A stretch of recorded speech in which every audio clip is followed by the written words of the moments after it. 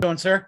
What's up, Jason? How you doing? I'm good, buddy. Good to see you. Um, you know, I guess we'll start with basic off-season stuff. I know a big part of your focus you wanted to work on, you know, strength, uh, stuff like that. How how did you go about that, and and uh, how do you feel about the results? Yeah, I mean, there's not really like a secret recipe or anything. Uh, I just gotten here and uh, I've been working really hard.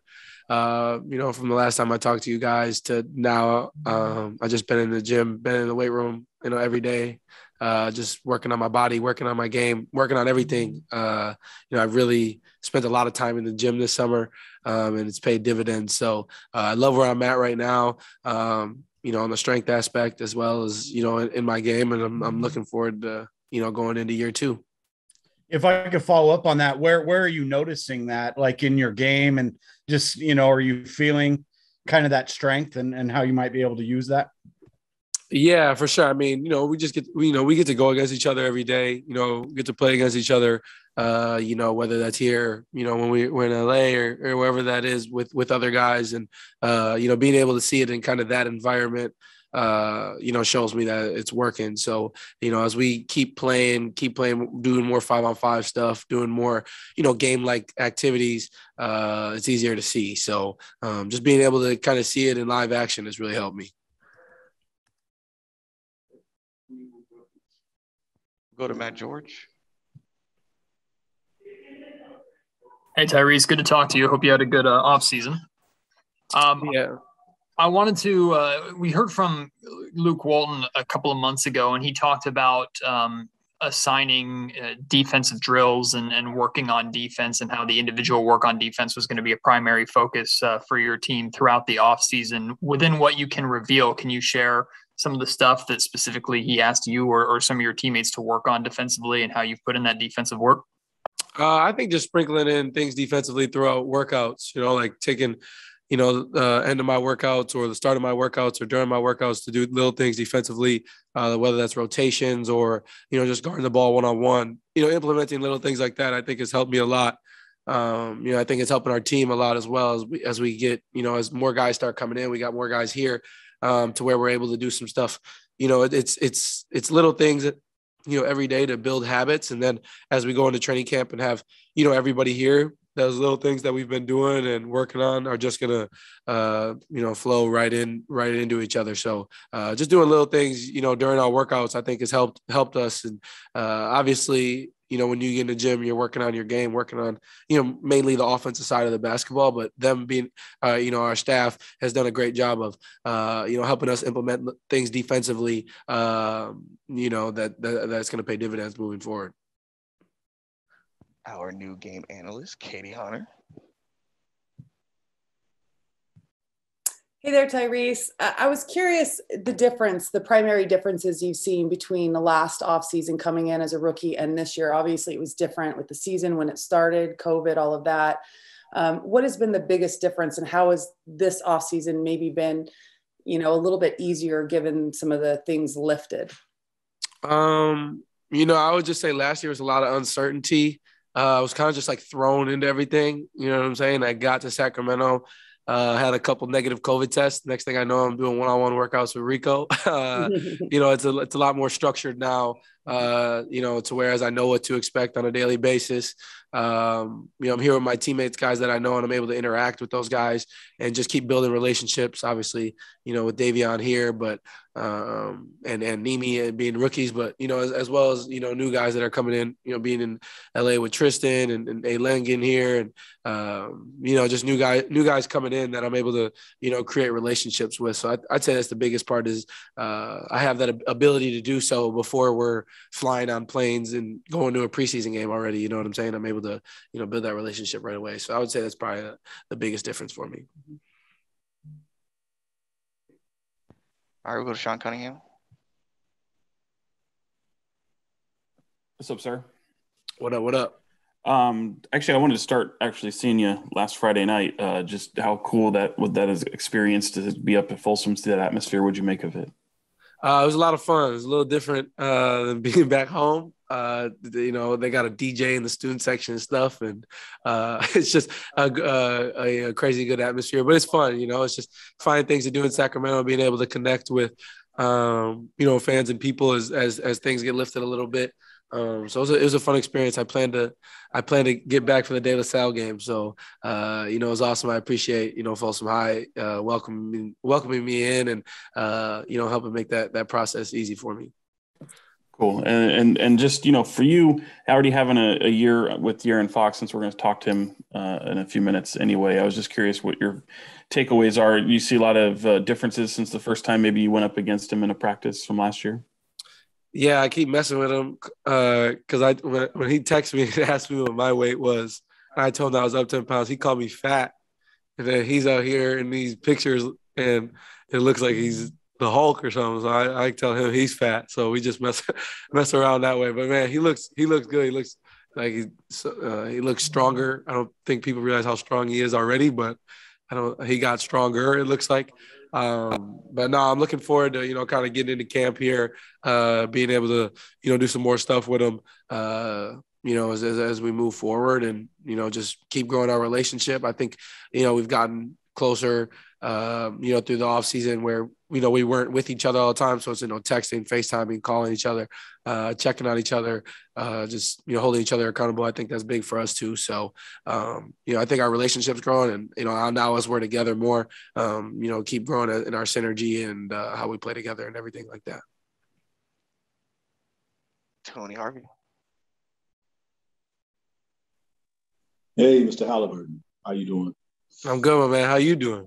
Doing good, doing good. Trying to stay cool. Well, at least it has been cool these few days. You know, us Midwesterner people had to get adjusted to this, and I'm pretty sure you have with all these hundred degree days. But anyway, it's good to see. um, um, just wanted to get your thoughts on, you know, you, you, you, talk about the personnel that's coming in. At least my emphasis is with the guards. Uh, you know, with Buddy, of course, De'Aaron, you, and with Davion Mitchell in the mix how do you see that, you know, working into a a winning formula? Yeah, you know, I think us being able to go against each other in training camp uh, and challenge each other every day uh, is going to help a lot. Um, you know, I think iron sharpens iron. So uh, being able to challenge each other every day and get after each other, I think is, is going to help us. But, you know, I think that, you know, there's multiple different, you know, combos out of the guard lineup. We could play two, we could play three. You could, like you said, there's me, De'Aaron, Davion, Buddy, TD. Um, you know, we got we got we got a lot of guards. So um, you know, just figuring each other out, keep growing. Uh, and, you know, in our relationships uh, to where you know we're able to communicate effectively, communicate the right way, um, and that's just going to help us grow on the court. But you know, I think as we get into training camp, you know, as we're all here uh, with each other, it's really going to help us because uh, you know we're playing with each other, against each other, seeing what we like, what we don't like. You know, I think that's the best way to figure out relationships and figure out how you're going to work together on the on the court is just you know playing with each other, against each other, just knowing tendencies and things like that. And what are your uh, professional thoughts about Davion so far? He helped lead that uh, that squad to a summer league championship in uh, Vegas. But what's your thoughts about him thus far? I'm off the air. Yeah, uh, about Davion, right? Is what you're talking about? Davion, yes. Yeah, yeah. Um, you know, obviously, uh, I knew a lot about him, a lot about him coming in. You know, because playing against each other in college, all that stuff.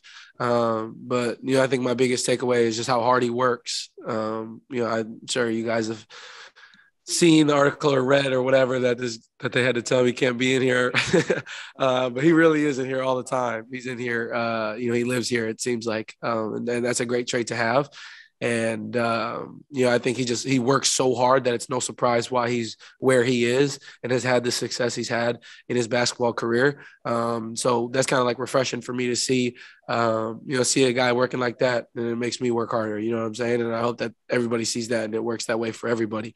Um, so you know it's cool it's cool to see and and again that's just another guy like I keep, I, I know I, I keep saying the same word over and over, but I think that's the most important thing uh, when in, in, in, sports is just relationships. So keep growing, you know, knowing each other the right way. Um, you know, playing uh, playing 2K together, whatever the case may be. We're just growing in, in, in our relationships, and um, you know, I think that's gonna you know help us be successful. And, I, and I, what I do like about him is, um, you know, he asks a lot of questions. I'm I'm very similar. I ask questions all the time, and I think he does the same thing where you know, he's not afraid to go to anybody and ask a question. And, uh, you know, I think we're getting to the point where I can tell him something when I'm seeing him do something, he can tell me. So, uh, again, I think that's just going to help us be more successful.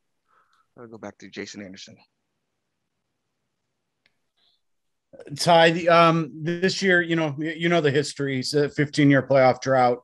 The longest ever is 16. You guys are, are, you know, in danger of tying that if things don't go well this year. What, how much of a burden is that? I mean, it, obviously, it's been a burden on the fans for a very long time here and people in the organization. But as players, like, how much do you feel that, and how much does it drive you to kind of break that cycle? Um, I, I mean, to, if I'm being like completely brutally honest. Uh, like I don't think anybody or any statistic, any record can put more pressure on um, myself than what I put on myself, if that makes sense. Um, you know, I have uh, like a standard that you know I want to uphold in in my athletic ability. I want to win. You know, that's been my thing. Is you know I, I want to be a winning basketball player, and I think everybody agrees with that. They want to win as well. Um, you know, I think the pressure is more so from ourselves because the accountability that we have within each other that we want to be, you know, successful. Um, you know, I don't think it's uh, anything of tying the longest record or anything like that. I didn't even know that until you just said that.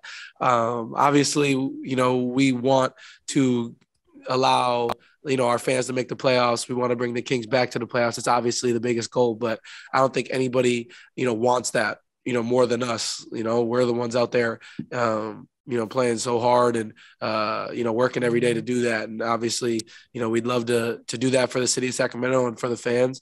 Um, but I do know that you know, guys are holding themselves accountable to where um, you know that's what we want to do. We want to change it, and you know, that's what I've said from the day that I got drafted here is that I wanted to get this team to the playoffs and you know help help change the culture, and that's what we're working to do every day. Okay, uh, good answer. If I could ask you one more, uh, well, I've got you. Um, the games are going to be officiated a little bit differently this year. Competition committee felt players were gaining an advantage, you know, using like unnatural motions to draw fouls. How do you feel about the change, and and how do you think it'll impact the game? We'll see. We'll see. Uh, we'll see when we get into games. Uh, you know, you can say what you want, but it's different in live action. Um, you know, the, the great players are, you know, they find a way to, you know, figure it out, you know, whatever that, that, that may be so I can get to the free throw line and uh, get some rhythm shots. So, you know, we'll see how it's officiated. I'm not, I don't know if I'm buying all that, but you know, we'll see, we'll see when we get into it. All right, a couple more. Go to Katie. Tyrese, other than kind of the focus of being in the weight room and just kind of, you know, adding from a physical standpoint to your stature, what were the primary kind of focuses and goals for you that you were looking at during the off season and where have you made the most strides? Um, you know, I would just say uh, handling the ball. Um, he has to do a lot more this year. Um, more than likely, I've probably moved up in uh, in scouting reports uh, from last season. So just being ready to take that that challenge, I'm probably gonna you know draw better defenders as I was you know towards the end of last year. So just being ready for that from the jump. Um, but I, I, think it's a lot of different things. I think my main thing is you know outside of handling the ball, finishing with both hands, uh, making shots. I think you know my biggest thing is just getting to the free throw line more. Uh, you know, figuring out how to use my body the right way. Uh, I think I probably got to the free throw line less than one time a game uh, you know, in my in my rookie season, and that's kind of been the the, the knock on me, you know, in college as well. So, um, you know, I, I think just getting to the free throw line more is going to allow so many things to open up. Uh, so, you know, that's definitely a point of emphasis for me. Um, but I, I would say that's probably the biggest thing outside of, you know, every every part of the game. But yeah, just putting a, a conscious effort on getting to the free throw line more and uh, figuring out how to use my body the right way. All right, uh, Matt George. Ty, I don't know if you were asked about this. Um, you finally got to experience a Golden One Center atmosphere uh, at the California Classic. Haven't really gotten to experience it yet as a player. What was your takeaway from that atmosphere for it just being a summer league game, and, and how much are you looking forward to playing in front of that this season? Yeah, uh, I um, I'm really excited about it. Um, I kept telling uh, you know, my girlfriend and the people around me, like, I need this, I need this in my life. uh, I missed, you know, kind of that, that entertainment factor of the game of basketball. Um, and, you know, I see so many fans, uh, in Golden One and even the passion they had for, you know, a summer league game. Uh, I can only imagine what it's going to be like when we get the regular season started. So, um, I'm, I'm really looking forward to it. I'm really excited. Uh, it's something I, I can't wait um, to do, you know, to be honest with you. And I know that I know how passionate, you know, Kings fans are, but I, I, I still think that I don't really know. You know what I'm saying? Like I, I, haven't I haven't been in it. I haven't been on the court to experience it. So I'm uh, I'm definitely looking forward to that experience.